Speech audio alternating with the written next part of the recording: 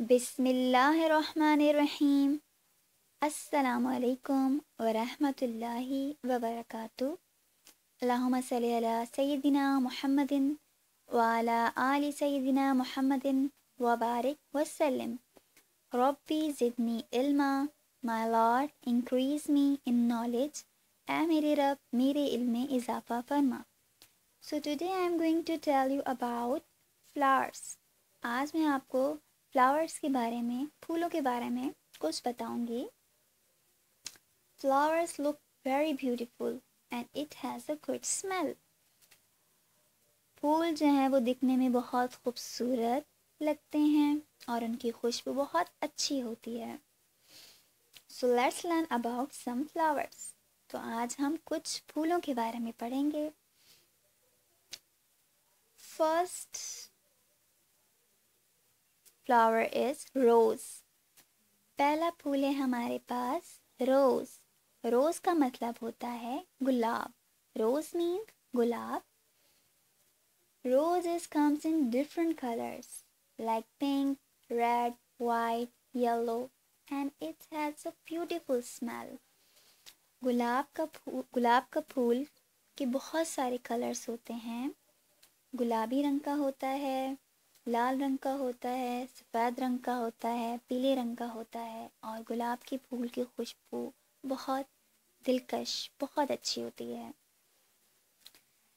Next flower is sunflower अगला फूल है हमारे पास सनफ्लावर सनफ्लावर को, का मतलब है सूरजमुखी। सनफ्लावर मीन्स सूरजमुखी। Sunflower is yellow in color. And its face look like a sun. Sunflower पीले रंग का होता है और सनफ्लावर सूरजमुखी, सूरज की तरह दिखता है। So next flower is marigold अगला फूल है हमारे पास मैरीगोल्ड मैरीगोल्ड मीन्स गेंदा।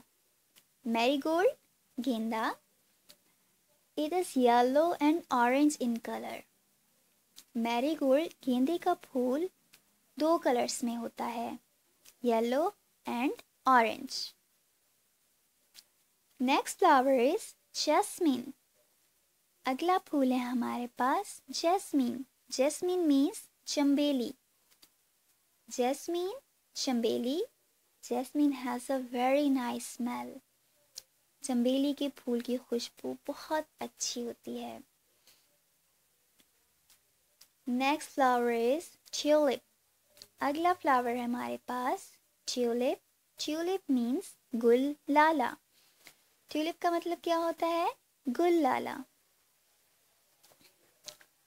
नेक्स्ट फ्लावर इज़ लोटस अगला फूल है हमारे पास लोटस लोटस का मतलब होता है नीलोफर.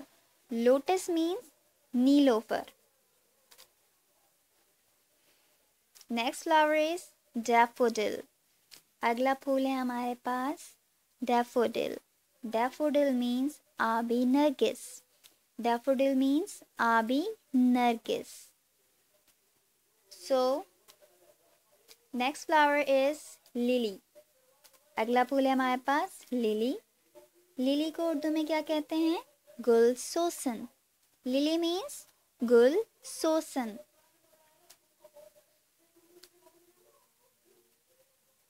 लास्ट फ्लावर इज़ फैंजी आखिरी फ्लावर हमारे पास है फैंजी फैंजी का मतलब होता है बनफशा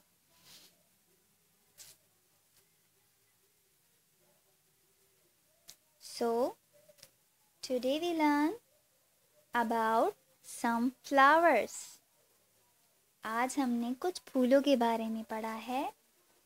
So when Whenever we learn something new, so we should pay thanks to Almighty Allah. Shukr Alhamdulillah.